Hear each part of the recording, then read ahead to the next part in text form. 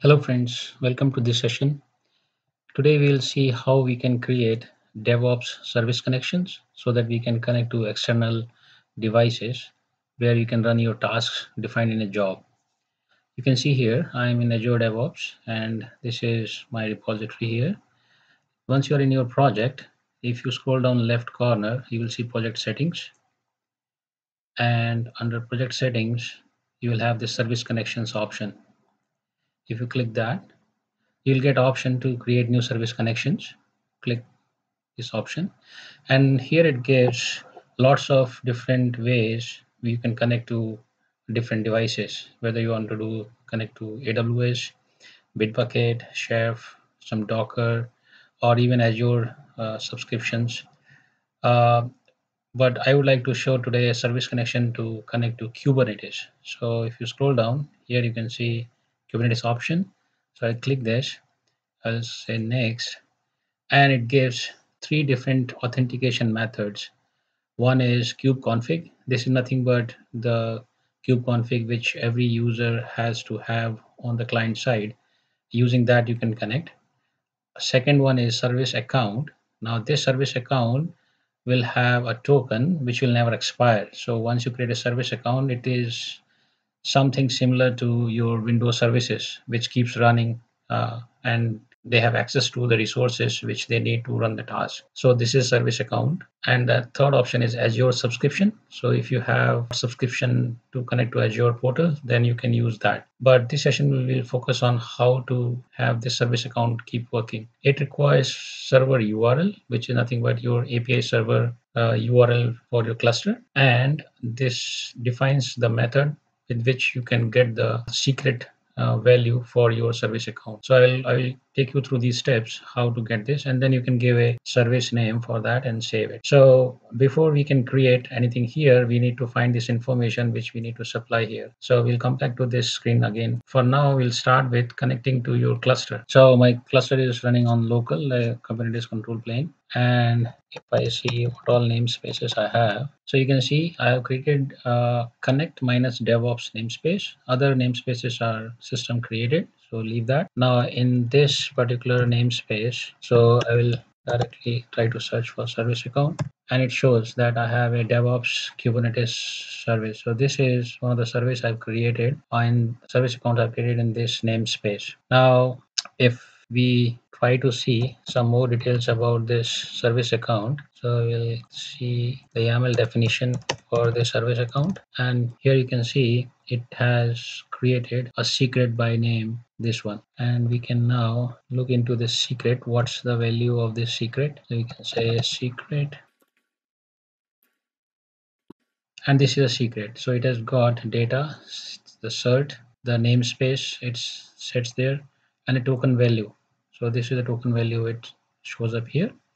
And this whole data is what uh, we need to supply when we create the service connection but to get to this secret you have to just run one simple command to create the service account which is nothing but kubectl create service account and name of the service account. Let's say con kubernetes service. Once you run something like this this command it will create the service account. But because i have already created the service account i will not run this command. And you can try this command.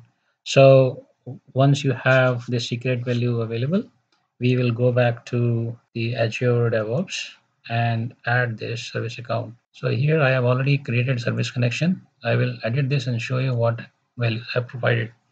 Now this server URL you normally will get by using cluster info command which I ran at the very beginning. cluster info kubectl. So this is the URL it is looking for to connect to your API server control plane. And once you supplied this, here you have to paste the token and make sure the token is actually in JSON format. So if you see this particular secret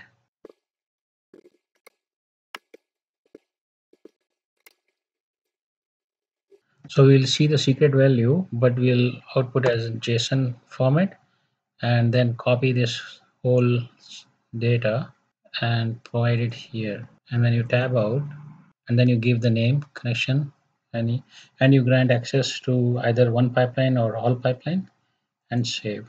Now your connection is created, but you would realize that this service account cannot do anything in cluster. We haven't assigned it any role or any role bindings. So we need to create a role.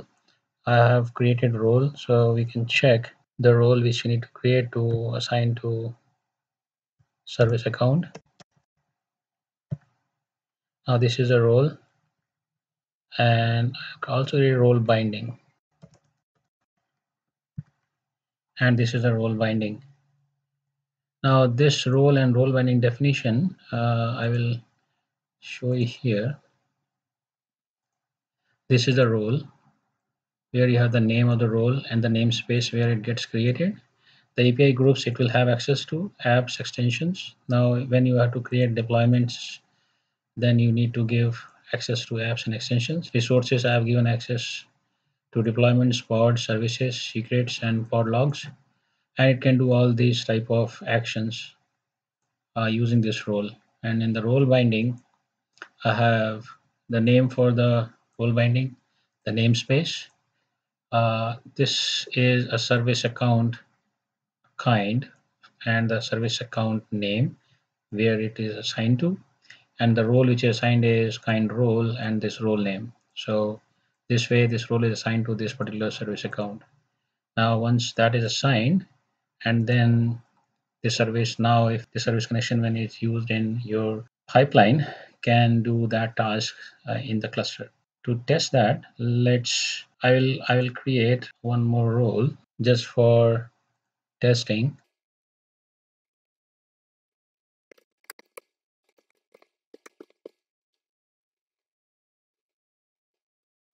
So it has created one more role and if you see there are two roles now one by name role one and I am going to try in the release pipeline I will edit this job. So I'm using a kubectl delete task and I'll pass. So in this particular task this is the name and I'm using service connection type. I selected the service connection which I created, provide the namespace on which it can act, and I'm using delete command, passing that delete this role called default dev role. So if this works, then that means this task and this pipeline is able to connect to my cluster and perform the actions using the service account. So we'll create this release now. One more thing to point out here, the agent is running locally on my laptop because my cluster is local. So if my cluster is not local, then I should have an access like API server endpoint which is accessible on net. If that is available, then you can use any type of build agent like Microsoft hosted agent also to do the same operation. So right now delete is in progress, waiting for the output and you can see here. So it says the delete is completed. I can verify this and try to search role again. And you see there that role is missing now. So it successfully used a service connection to connect to the cluster and then delete it. I hope this way you understood how you can use service connection to connect to your Kubernetes cluster. Thank you so much. See you in the next session